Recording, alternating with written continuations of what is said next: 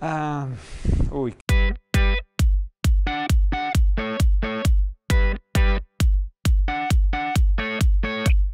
Me vienen varias a la cabeza, casi todas con mi mujer. Eh, pero probablemente cuando cuando cuando decidimos eh, dar la vuelta al mundo en un velero, porque todos nuestros hijos vienen de ese viaje.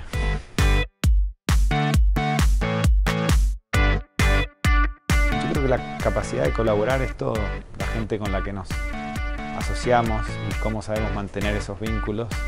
Hoy en día es muy difícil hacer cosas solo y, y muy limitado lo que uno puede hacer por su cuenta.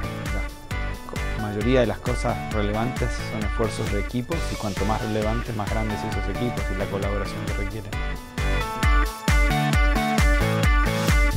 Para mí es fundamental Normalmente a uno le preguntan de los éxitos, pero yo me doy cuenta que como emprendedor, la gran mayoría de mi eh, ADN de emprendedor está hecho por los fracasos. Es lo, que me es lo que me enseñó a hacer lo que hago y lo que me, hace hacerlo de la manera que lo hago. De hecho, yo creo que el éxito enseña vicios, enseña malas cosas. Eh, por alguna razón, cuando triunfamos, creemos que es todo mérito nuestro y que hicimos todo bien por alguna otra razón extraña, cuando fracasamos es mucho más fácil ver qué es lo que hicimos mal. Eh, no es que hicimos todo mal, es más fácil ver qué es lo que hiciste mal, lo que hiciste bien, lo que, lo que deberías cambiar.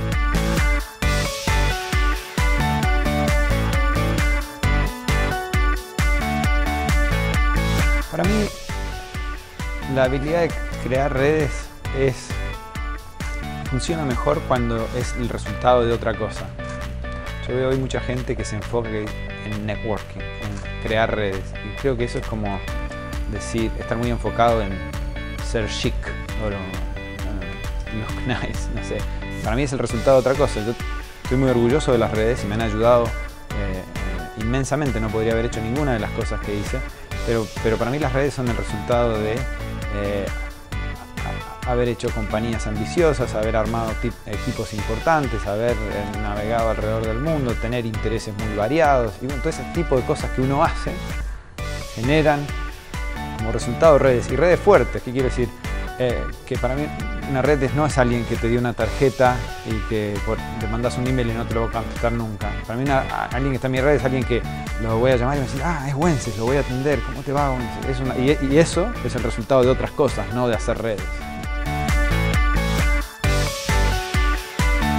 Mí es más importante lo que parecen. Para mí hay lugares que nos ayudan a bajar nuestras defensas, a abrirnos, a ser vulnerables, a pensar de una manera distinta, a cambiar de opinión, a conectar con gente. Y eso no se puede hacer necesariamente en cualquier lado. Ayuda a estar en lugares que inspiran confianza, que nos relajan y que nos abren la mente.